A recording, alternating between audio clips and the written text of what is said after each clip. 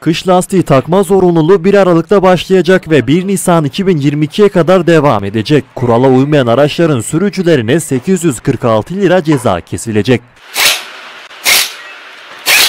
Hazine ve Maliye Bakanlığı tarafından açıklanacak yeniden değerleme oranı çerçevesinde 1 Ocak 2022 tarihi itibariyle bu e, 846 liralık idari para cezası yeniden güncellenecek.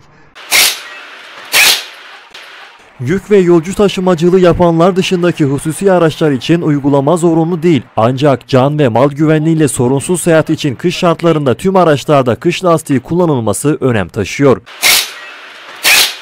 Kış lastikleri 7 derecenin altındaki sıcaklıklarda, ıslak, karlı ve çamurlu zeminlerde yaz lastiklerine oranla daha iyi yol tutuşu ve yüksek güvenlik sağlıyor.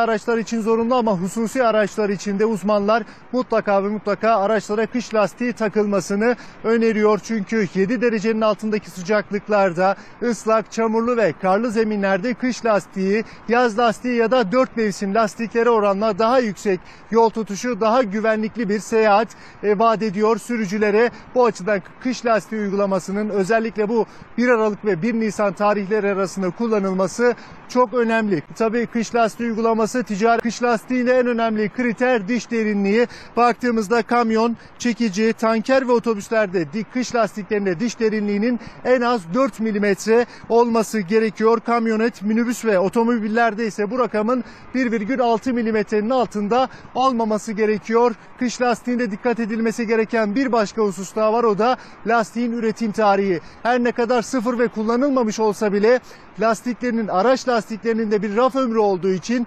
sürücülerin kış lastiği satın alırken mutlaka üretim tarihlerine bakması ve özellikle 4 yıldan daha geriye doğru e, lastiklerin alınmaması gerekiyor. 4 yıldan daha eski lastiklerin alınmaması mümkünse de o yıl içerisinde üretilmiş lastiklerin alınması gerekiyor. Uzmanlar bu yönde uyarılarını yapıyor.